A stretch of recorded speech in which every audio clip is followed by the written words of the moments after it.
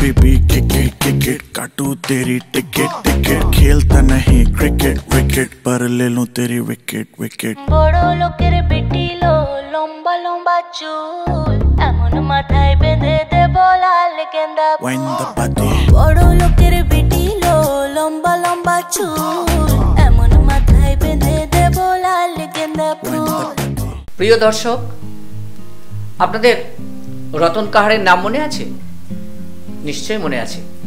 কারণ এই গত ছাব্বিশে জানুয়ারি বীরভূমের গর্ব আমাদের আপনার সবার প্রিয় রতন কাহার পেলেন।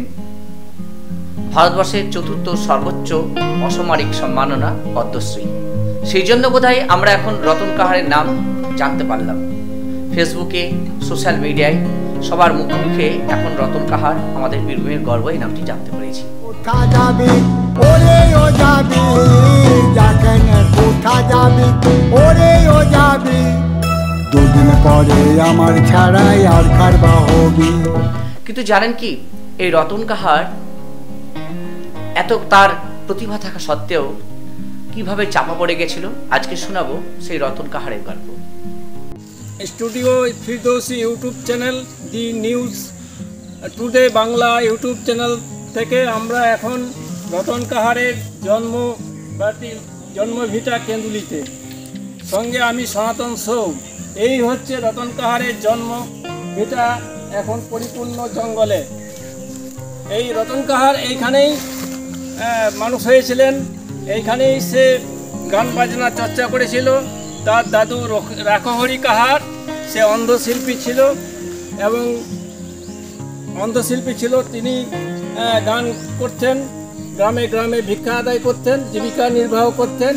সময়ের পরিবর্তন হলেও তার গানের কোনো পরিবর্তন হয় নাই।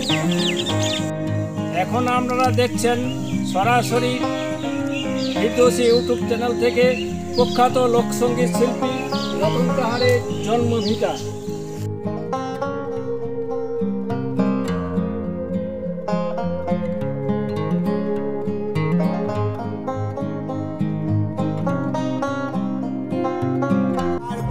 কতকাল থাকব বলো, ঘর জামাই শ্বশুর ঘরে, আর কতকাল? আমি আর কতকাল থাকব বলো, ঘর জামাই শ্বশুর ঘরে? চলে যাব এই কেন্দুলি গ্রাম, যেখানে আমি দাঁড়িয়ে আছি, ঝাড়খণ্ড এবং বাংলা সীমান্ত এলাকায়। এবং সেই কেন্দুলি গ্রামেই ওনার জন্ম।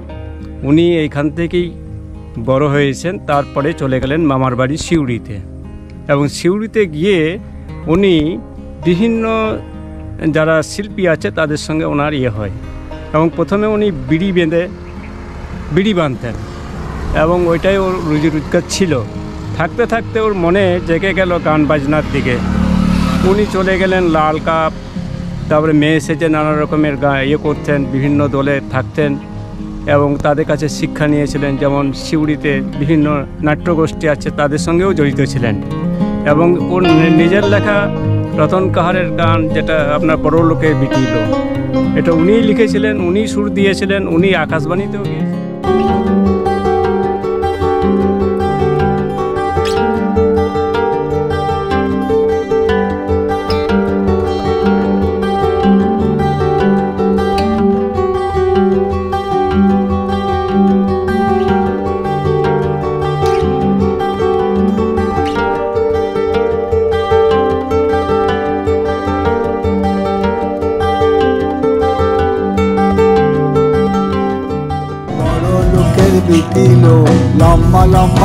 চুল এমন মাথা বেঁধে দিব লাল গিন্দা ফুল এমন মাথা বেঁধে রতন কাহার জন্মেছিলেন বীরভূমের কেতুলি গ্রামে। তার বাবা মা হত দরিদ্র একটা পরিবার। দিনমজুর পরিবার থেকে রতন কাহার আস্তে আস্তে বড় হয়েছিল।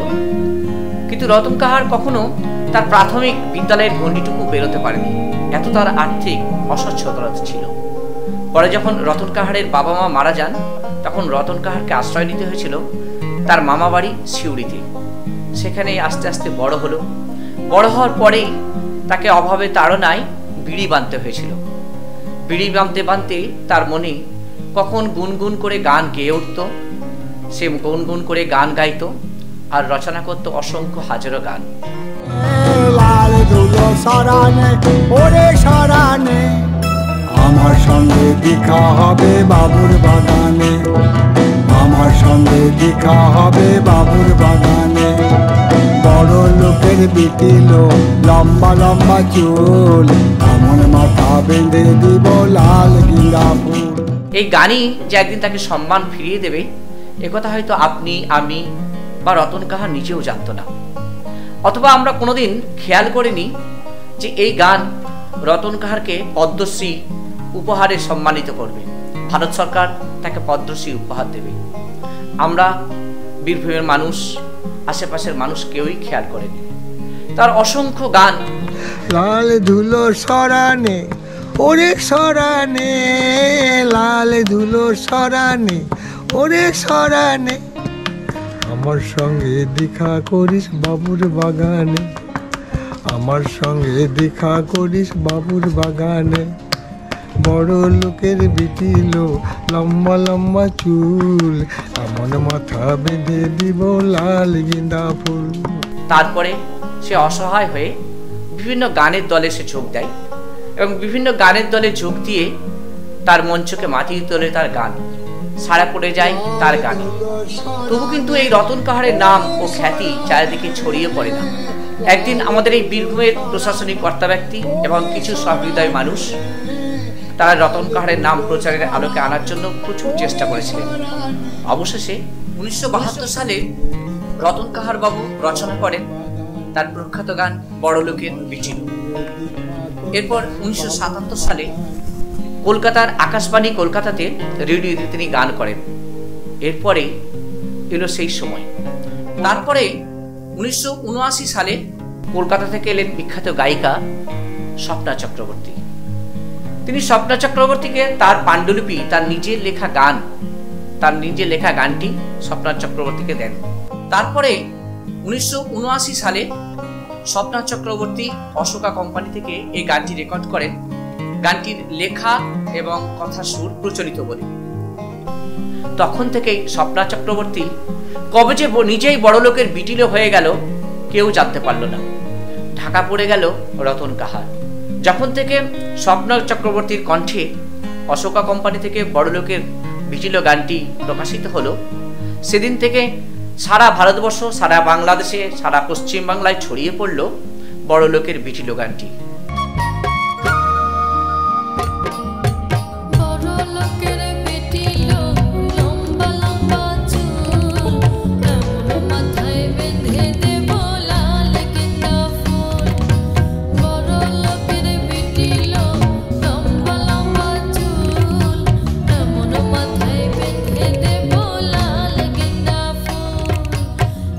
সবার মুখে তখন স্বপ্না চক্রবর্তীর নাম।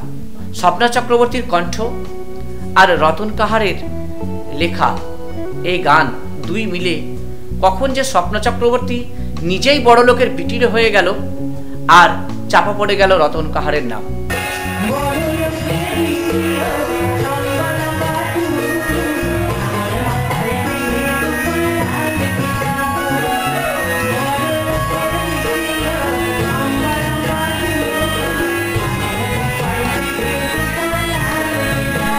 যখন কোম্পানি থেকে স্বপ্ন চক্রবর্তী গানটি রেকর্ড করেন তখন গানের ক্যাসেটে কোথাও লেখা ছিল না যে গানটির আহ, স্রষ্টা কে তখন ক্যাসেটে লেখা ছিল গানটির সুর ও লেখা প্রচলিত। তাই স্বভাবতই কেউই জানতে পারেনি রতন কাহারের নাম। মানুষের অগোচরে থেকে গেছিল রতন কাহারের নাম। এখন আমি দিন যে মানুষটি চাপা পড়েছিল যাকে আমরা গুরুত্ব দিইনি আমরা নিজেরাও কি ভেবেছিলাম যে রতন কাহার একদিন ভারতবর্ষের এই চতুর্থ সর্বোচ্চ সম্মান পদ্মশ্রী উপহার পাবেন হয়তো ভাবেনি। তাই হয়তো রতন কাহার পাশ দিয়ে হেঁটে গেলেও রতন কাহার পাশ দিয়ে গান গেয়ে গেলেও আমরা কেউ তার দিকে ফিরে তাকাইনি। বড় লোকের বেটিল লম্বা লম্বা চুল বেঁধে দিব লাল গিন্দা ফুল। এমন মাথা বেঁধে দিব লাল গিন্দা ফুল। বড় লোকের বেটিল লম্বা লম্বা চুল। এমন মাথা বেঁধে দিব লাল গিন্দা ফুল। আসলে সেই সময়, তাকে সময়, তাকে সম্মান দেয়নি হয়তো মানুষ, আমরা, আপনারা, কেউই আমরা সেই সময় হয়তো সম্মান দিতে পারিনি। কিন্তু সময় কখনো ভুল করে না। সময় জ্ঞানী মানুষকে সম্মানের মানুষকে সঠিক সময়ে সম্মান দিয়ে দেয়। তার ফলে আমরা আজকে পাচ্ছি এই রতন কাহারের এই গান বড়লোকের বিটিল স্বপ্না চক্রবর্তীর গাওয়া বড়লোকের বিটিল গানটি যখন লোকমুখে বহুল প্রচলিত, তখন তিনি কিন্তু এই গানটির জন্য কোনো রয়্যালিটি বা সাহায্য পাননি। হয়তোবা কিছু আর্থিক সাহায্য পেয়েছেন সেই সময়, কিন্তু এর বাইরেও তিনি বেশি কিছু পাননি। তিনি কিন্তু সবার অলক্ষ্যে অগোচরে থেকে গেছেন। এর বহু বছর পর মহারাষ্ট্রের বাদশাহ এই বড়লোকের বিটিলীয় গানটিকে নিয়ে যখন রিমিক্স করে এবং রিমিক্স করে যখন সারা ভারতবর্ষে ছড়িয়ে পড়ে এই গানটির রিমিক্স। বড় লোকের বেটি লো লম্বা লম্বা চুল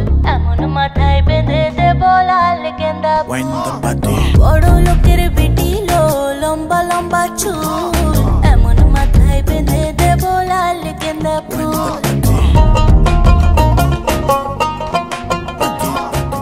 তখনও কিন্তু এই মহারাষ্ট্রের বাদশাহ যিনি গানটি করেছিলেন, তিনি জানতেন না এই গানটির প্রকৃত স্রষ্টাকে কিছু শুভানাদ্যয়ী মানুষ ও প্রশাসনকর্তা ব্যক্তির মাধ্যমে যখন তিনি জানতে পারেন যে এই গানটির স্রষ্টা হচ্ছেন মাননীয় রতন কাহার বাবু, তিনি তখন ফোনের মাধ্যমে খোঁজখবর নেন এবং তাকে আর্থিকভাবে সাহায্য করেন। তারপর থেকেই বাংলার বিভিন্ন গায়ক গায়িকা তার এই বড়লোকের ভিটিলো গানটি নিয়ে কভার করেন এবং রিমিক্স করেন। ঘরে ঘরে ছড়িয়ে পড়ে বড়লোকের ভিটিলো ওরে লাল ধুলা সরানে ওরে সরানে লাল ধুলা সরানে এবং ছড়িয়ে পড়ে রতন কাহারের নাম। আমরা সকলেই জানতে পারি বীরভূমের গর্ব কেঁদুলির গর্ব রতন কাহারকে। যখন তিনি সম্মান পাননি অর্থাৎ যে সময়ে তার সম্মান পাওয়া উচিত ছিল সেই সময় তাকে আমরা হয়তো সম্মান দিতে পারিনি। কিন্তু আমরা ভারতবর্ষের মানুষ সম্মানীকে সম্মান দিতে পেরেছি। ভারতবর্ষ, ভারত দেখিয়েছে সম্মানীকে সম্মান দিতে হয়। অবশেষে রতন কাহার তার উননব্বই বছর বয়সে ভারত সেরা সম্মান, অর্থাৎ ভারতের চতুর্থ সর্বোচ্চ অসামরিক সম্মান পেলেন পদ্মশ্রী। এখন রতন কাহারের নাম সবার মুখে। লম্বা লম্বা লাল গিন্দা মাথা বেঁধে দিব লাল লোকসঙ্গীত শিল্পী রতন কাহার বাবু টুসু, ভাদু, ঝুমুর গান লেখায় সিদ্ধহস্ত। ভাদু গানের জন্যই পদ্মশ্রী পুরস্কার পেলেন রতন কাহার বাবু আমরা রতন কাহার বাবুর মুখে আরও শুনব, আরও সুন্দর সুন্দর নতুন ভাদু গান অবশ্যই আমরা শুনতে পাবো। আমরা শুনব ভাদুর গলে দোলে ওগো শিউলি ফুলের মালা। ভাদুর গলে দোলে ও গো শিউলি ফুলের মালা।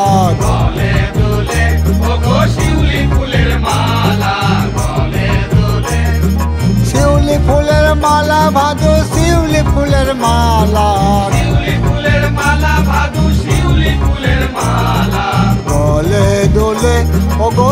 শিউলি ফুলের মালা, গলে দোলে।